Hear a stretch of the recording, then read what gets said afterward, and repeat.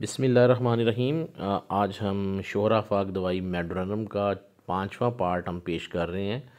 सुजाक के जो पेशेंट हैं, ये बहुत ज़्यादा मकदार में अब हो गए हैं। लोगों की बहुत बड़ी तादाद सुजाक जैसे मूजी मर्ज़ में जो है मुबतला हो चुकी है। और सुजाक ने अब अब जो है वो अपने अपने ऊपर एक पर्दा रख लिया है, मास्क डाल लिया है, अपने आप को छुपा लिया है। लेकिन जो माहिर डॉक्टर हैं, होम्योपैथी के पुराने हो चुके हैं, उनकी मुद्दत ज़्यादा हो चुकी है काम करते करते तो वो मेडोरनम को उस मास्क शुदा अलामतों में मसक शुदा अलामतों में, जिनके ऊपर पर्दा डाला हुआ है, जिनको अलामत को छुपा दिया गया है इंजेक्शन लगवा के, मुख्तलिफ़ किस्म की अद्वियात खा के, और मरीज़ों ने बार बार ख़ुद से सेल्फ़ मेडिकेशन कर कर के अपने मर्ज़ों को, अपनी अलामत को दबा दिया है, ख़राब कर दिया है, ला इलाज कर दिया तो आज मैं आपको मेडोरनम का पाँचवा पार्ट, जिस पर बहुत सी जो है वो मज़ीद अलामत पर बात होगी। तो सबसे पहले जो मेडोरनम का पेशेंट है, उसके अंदर और कौन कौन सी चीज़ें आती हैं? क्योंकि जब हम पेशेंट्स देखते हैं तो पेशेंट अपनी अलामत बताता है। फिर उनकी वो अलामत, जो कि किताबों के अंदर भी दर्ज नहीं है, किताबों के अंदर उनका ज़िक्र तक नहीं है। वो वो अलामत फिर जब बाहर आती हैं तो फिर बंदे हैरान होते हैं कि ये कहाँ से अलामत जो हैं वो आ रही हैं। तो मेडरनम का जो पेशेंट है, इसकी सबसे बड़ी अलामत ये है कि इसको, इसकी तमाम अलामत दिन के वक्त बढ़ती हैं। यानी जो मेडोरनम का मरीज़ है, सुजाक का मरीज़ है, सुजाकी मादा जिसके अंदर डेवलप हो चुका है और छुप चुका है, उसकी तमाम अलामत दिन को बढ़ जाती हैं और रात को उसकी अलामत कम हो जाती हैं। ये उसकी पहली बड़ी अलामत। दूसरी बड़ी अलामत इसकी ये है, ये पेशेंट बड़ी जल्दी बातें भूल जाता है। यानी इसको कोई बात भी कही जाए तो ये फटाफट भूल जाता है। इसके जहन के अंदर वो चीज़ टिकती नहीं है, रहती नहीं है। वो बात को दोबारा से एक्सप्रेस नहीं कर सकता। यानी बात को, अपनी बात को दूसरों तक पहुँचाने में कामयाब नहीं होता। इसका पेशेंट असाबी मरीज़ होता है। यानी इसके तमाम असाब दर्द करते हैं। असाब में खचावट होता है, असाब ज़िक्ल हिस्स होते हैं। असाब के अंदर जो है वो कुत बर्दाश्त नहीं होती, बड़ी जल्दी जो है ये अपना टेंपो लूज़ कर जाता है। इसका मरीज़ ये महसूस करता है कि वो इस दुनिया के अंदर नहीं है, खौब के अंदर है, यानी कि ये बहुत बड़ी लामत है। यानी वो पेशेंट महसूस करता है कि वो ऊपर ऊपर ही काम हो रहा है सारा कुछ, नीचे तक, गहराई तक वो कुछ भी नहीं समझ पाता। कि ये, और ये मामूली सी बात से, मामूली सी आवाज़ से, मामूली से जो है वो काम से ये चौंक पड़ता है। छोटी सी बात हो, लड़ाई खौ, लड़ाई के खौफ से ये पहले ही चौंक जाता है। तो ये मरीज़ जो है मेडोरनम से ही ठीक हो सकता है। मेडोरनम का जो मरीज़ है, इसकी, इसका जो इसका जो माइंड है, इसका जो दिमाग है, वो हमा वक्त जो है, वो कुछ ना कुछ सोचता रहता है और ये नेगेटिव सोचता है ज़्यादा। इसकी तमाम सोचें, तमाम ख्याल तमाम जो हैं, चीज़ें इस तरह की हैं, जैसे ये ज़िंदगी से मायूस होता है। डॉक्टरों से मायूस, हुक्मा से मायूस, एलोपैथिक डॉक्टर हजरा से मायूस, इवन वो होम्योपैथिक डॉक्टर से भी मायूस हो जाता है और वो समझता है कि मेरा जो काम है, मेरा जो इलाज है, वो नामुमकिन है, वो ठीक नहीं हो सकता। लेकिन ये पेशेंट जल्दबाजी की वजह से हमेशा अपना नुकसान करता है, क्योंकि ये एक पेश, अपना डॉक्टर से इलाज नहीं करवा सकता। ये डॉक्टर पर डॉक्टर चेंज करता रहता है, बदलता रहता है और मुसलसल जल्दबाजी के नतीजे में ये ला इलाज हो जाता है।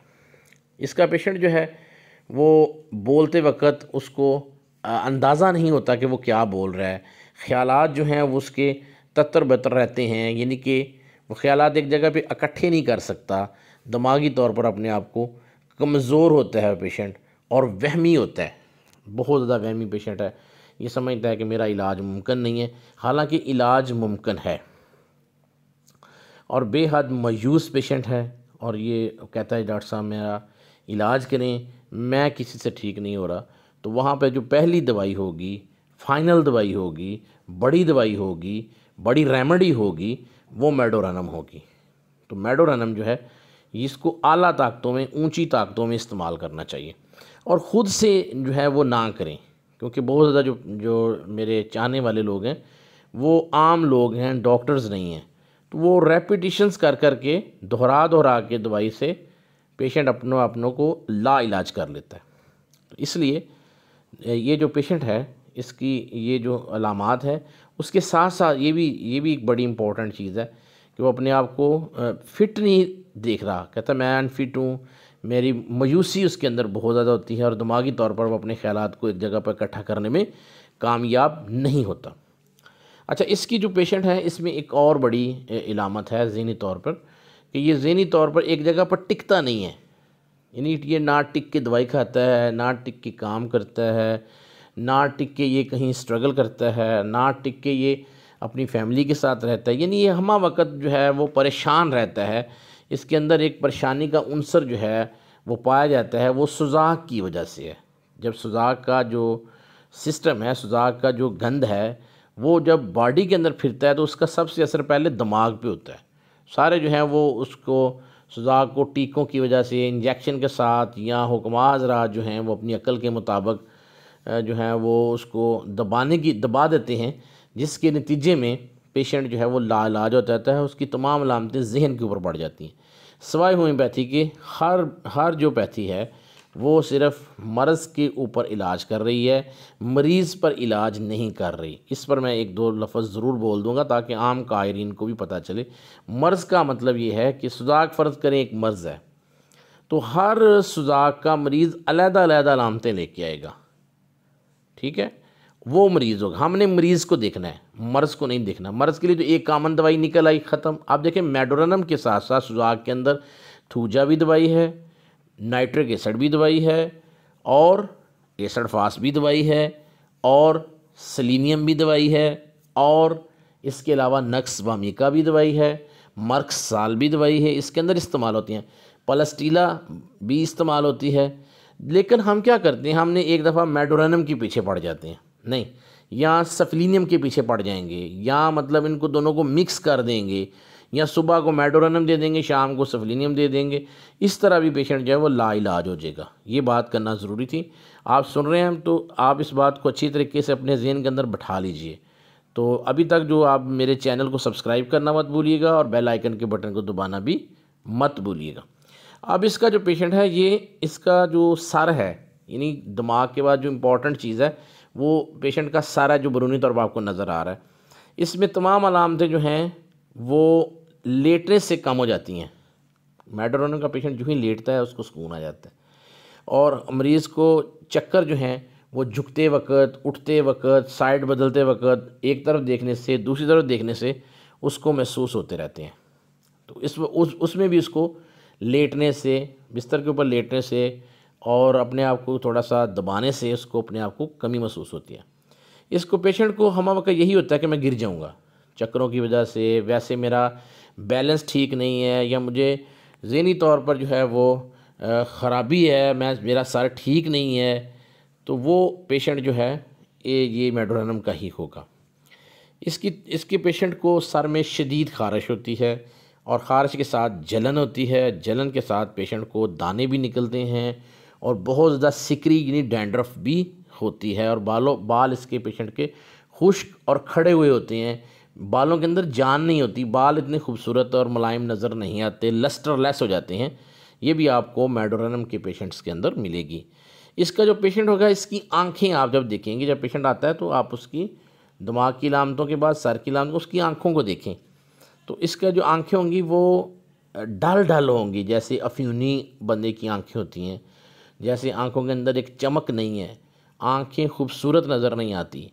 तो उसके साथ साथ मरीज़ भी ये भी बताएगा कि डॉक्टर साहब, मेरी आँखों के सामने जो हैं वो स्टार्स नज़र आ रहे हैं बाल्स नज़र आ रहे हैं छोटे छोटे गेंद नज़र आ रहे हैं छोटी छोटी उड़ती हुई चीज़ें आ रही हैं और मटियाले रंग के निशान आ रहे हैं स्या रंग के गेंद नज़र आ रहे हैं स्या रंग के स्पॉट नज़र आ रहे हैं। आँखों के ऊपर जो है वो एक ख़ास किस्म की सेंसेशन होगी पेशेंट कहेगा जी डॉक्टर साहब। मेरी आँखों के सामने कुछ चीज़ उड़ती हुई नज़र आ रही है। कई दफ़ा वो मेंशन करने में कामयाब नहीं होता। तो आँखों में रेत का एहसास होता है। जैसे कुछ चीज़ पड़ गई है। जैसे आप बाइक वगैरह लोग चलाते हैं, ऐनक के बगैर चलाएँ हेलमेट के बगैर चलाएँ तो आँखों में एक रेत या मट्टी वगैरह चली तो उस तरह का एहसास पेशेंट के अंदर होता है। और आँखों में लकड़ियों का एहसास, आँखों में किसी चीज़ के चुभने का एहसास, आँखों में किसी चीज़ के रड़क पड़ जाने का एहसास और ऐसे पेशेंट जिनके जिनके साथ अशोब चशम का अर्जा है, जिनकी आँखों से पानी आता रहता है और मतवरम पानी आता है जिसमें आँखें ख़राब हो जाती हैं तो आँखों का चिपक जाना, आँखों का ख़राब हो जाना, आँखों के किनारे छिल जाना, आँखों के किनारे मोटे हो जाना और आँखों के किनारों के अंदर जो है वो ख़ास किस्म की एक गिल्टियाँ सी बन जाना और पलकों का गिर जाना, ये मेडोरनम की मखसूस इंपॉर्टेंट और आला अलामतें हैं। इनको आप जहन के अंदर नोट रखें कि जब आप आँख को देखते हैं। उसके बाद जो पेशेंट का कान है, आँख के बाद इंपॉर्टेंट चीज़ है कान। जितनी भी बीमारियाँ हमारी आती हैं, वो कान के ज़रिए एंटर होती हैं। अगर हम समात करेंगे अच्छी चीज़ों को तो कान अच्छे रहेंगे, माइंड अच्छा रहेगा। अगर हम गंदी चीज़ें सुनेंगे, गंदे काम सुनेंगे, गंदे चीज़ों को सुनने के बाद महजूज होंगे तो दिमाग उतना ही डिस्टर्ब होगा। लिहाजा कानों को अच्छी चीज़ें सुनाएँ, तलावत कलाम पाक सुने और ज़्यादा से ज़्यादा कोशिश करें कानों में अच्छी आवाज़ें पढ़ें ताकि कान साफ़ रहें। इसका जो पेशेंट होगा, इसमें कुत समात की बहुत कमज़ोरी होती है। बहुत ज़्यादा बैरे पेशेंट जो हैं वो हमने मेडोरनम से ठीक किए हैं। वो मेडोरनम काम करती है वहाँ पे और अगर मेडोरनम काम ना करे तो वहाँ पे थूजा और नाइट्रिक एसिड जैसी शोरा फाक दवाइयों को भी इस्तेमाल में लाया जा सकता है। मरीज़ जो है वो ख्याल करता है कि लोगों वो, उसके अंदर ये बड़ी मखसूस जो है वो एक लामत आती है कि वो आवाज़ें या बातें लोगों की सुन रहा होता, हालाँकि वो सुन रही सुन रही रहा होता। तो उसकी जो कुत समात है, वो इतनी कमज़ोर हो जाती है या उस वक़्त उसको फ़ील होता है, एकदम तेज़ भी जाती है उसकी कुत समात, के कानों की नाली के साथ साथ उसको दर्द होती है और कानों में उसको ख़ास किस्म की खारिश होती है और कानों में रिंगन सी किसी चीज़ चीज़ के रिंगने का एहसास होता है। आगे हम देखेंगे पेशेंट का जो अलात तनासल मर्दाना है, उसमें क्या कमी बेशी आती है, क्या प्रॉब्लम्स उसमें ज़्यादा आते हैं। उससे पहले आप देखें कि जो पेशेंट है, उसमें नाइट फॉल का बहुत ज़्यादा अर्जा होगा और पेशेंट जो है वो उसकी इम्पोटेंसी का प्रॉब्लम है और इसकी वजह इम्पोटेंसी की वजह बेसिकली सुजाक अगर हो तो मेडोरनम वहाँ पे अच्छा काम करेगी, बेहतरीन काम करेगी। और सुजाक के पैदाशुदा पैदाशुदा अलामतें जो हैं, जैसे बाई का दर्द है, लंगड़ी का दर्द है, जिस्मानी कमज़ोरी है, दौरों का बढ़ जाना है, मस्जिद के दूधों का बढ़ जाना है पेशाब की बार बार और दर्द भरी जो हाजत होना, ये भी आपको मेडोरनम की तरफ़ लेके चली जाती है। मेडोरनम का जो मसाना है, पेशाब है जो। पेशाब के ऊपर बहुत ज़्यादा जो है इस पर बोला जा सकता है। मैं इंपॉर्टेंट लामतें बताऊँगा, इसका पेशाब मकदार में कम, रंगत में बहुत ज़्यादा पीला, बदबू सख्त, तेज़ बदबू और पेशाब में अल्ब्यूमन पस और एपिथीलियल सेल्स जो लेबॉर्ट्री में टेस्ट करवाने के बाद आते हैं तो वहाँ पर बिला झिझक आप मेडोरनम दें। मेडोरनम बेहतरीन आला काम करती है। अच्छा देखिए, इसका जो चेहरा है, इस पर भी मैं थोड़ी डिस्कस कर लूँ। इसका चेहरा पीला होगा। पेशेंट का चेहरा पीला, जरद, मोमसा, चेहरे के ऊपर ऐसे लगे, हवाइयाँ उड़ी होंगी। सांस में बदबू होगा, मुँह और हलक में बलगम। मुँह में खुश्की, नज़ला, ज़ुकाम खूँ खूँ करना, मुसलसल बलगम गिरना, केरा और ना बुझने वाली प्यास, मनशियात इस्तेमाल करने वाले लोगों पर मैंने मेडोरनम का बहुत अच्छा रिज़ल्ट देखा है। ऐसे लोग जो हेरोइन पीते हैं, चरस, शराब और आशीष और दूसरे नशे जो हैं, अफ्यून वगैरह इस्तेमाल करते हैं, मैंने बेहतरीन रिज़ल्ट्स देखे हैं मेडोरनम के साथ। मेडोरनम का पेशेंट होगा, हमेशा मठाइयाँ पसंद करता है, मीठी चीज़ें पसंद करता है, मीठे का पुजारी होता है। और कई दफ़ा मैंने देखा है कि वो नमक की भी शदीद तरीन ख्वाहिश रखता है। खसूस खाना खाने के बाद और उसको नमक की ख्वाहिश होती है। और राशा मैदे के अंदर जो है वो नोच नोच नोचन और गुट घुटने जैसी जैसे कुछ चीज़ घुटनी घुटती जा रही है या कलेजे का बैठा जाना है, वहाँ पर इसका बेहतरीन रिज़ल्ट है।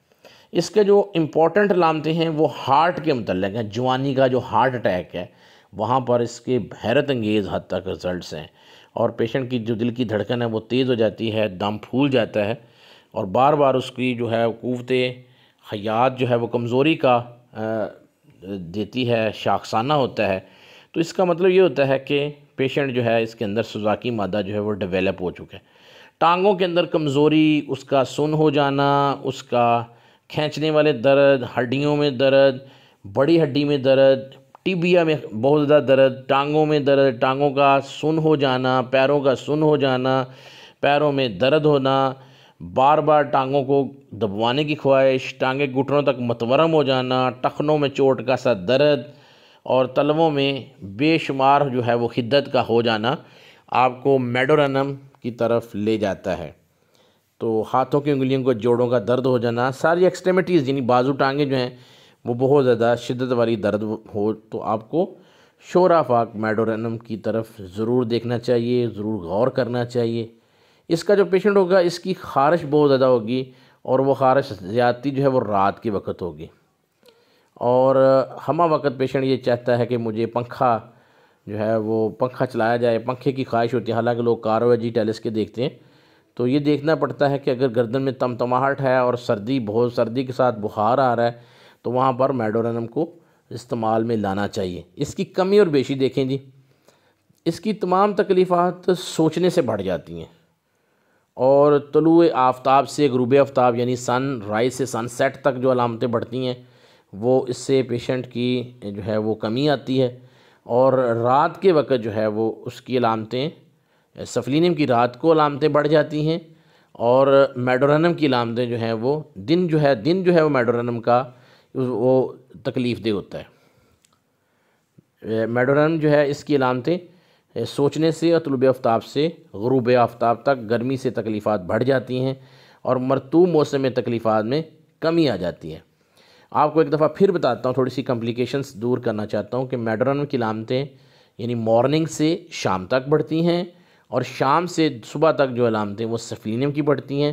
यानी मेडोरनम का, मेडोरनम की रात अच्छी है, जबकि सफलिनियम का दिन अच्छा है। तो इसको आला ताकतों में, इसको दोहराना नहीं है आपने। और मेडोरनम को आपने सी एम में लेना है, इसको रिपीट नहीं करना, इसका पी एल एस जो है वो, पीएलएस के बगैर दवाई नहीं काम करती। यानी पीएलएस मेडोरन का पीएलएस जो है वो लेंगे, और वो दवाई को दोहराने की ज़रूरत नहीं है। खालस हालत में दवाई को दोहराने से पेशेंट जो है वो ला इलाज हो जाता है, वो ठीक नहीं होता। मेरे पास पेशेंट आते हैं सुजाक के वो अपने साथ medorrhinum sulphur, thuja, nitric acid, ये हाथ में पकड़ी होती हैं। तो कई पेशेंट के अंदर जो स्ट्रक्चर ऑफ़ हो जाता है नाली का तंग हो जाना, स्ट्रक्चर ऑफ़ यूरिथ्रा, यूरिट्रा, और उसके अंदर मसाने के अंदर जो प्रॉब्लम आती है, उसके अंदर नाइट्रिक एसिड पकड़ी हुई है, ये टेन एम ले रहे हैं, वन एम ले रहे हैं, इस तरह ना करें, दवाइयों को दोहराएँ ना, और इसका पी जो है, वो किसी माहिर डॉक्टर से ज़रूर लें ताकि आपका मामला ठीक हो। इस दवा का असर जो वो एपिकाक से ज़ायल हो जाता है। एपिकाक आम सी दवाई है, लेकिन शोरा फाक मेडिसन एपिकाक को भी ज़ायल कर देने की सलाहियत रखती है। तो आपने कोशिश ये करनी है कि एक वक्त में एक दवाई इस्तेमाल करनी है और दवाई के मतलब कोई भी मशवरा हो तो आप मुझसे मशवरा फ्री ऑफ़ कॉस्ट ले सकते हैं और अपना इलाज करवा सकते हैं और अपने आप को बेहतर कर सकते हैं। अल्लाह ताला हम सबको हामी नासर हो। इन नेक्स्ट आडियो के साथ आपसे फिर मुलाकात होगी। अस्सलाम वालेकुम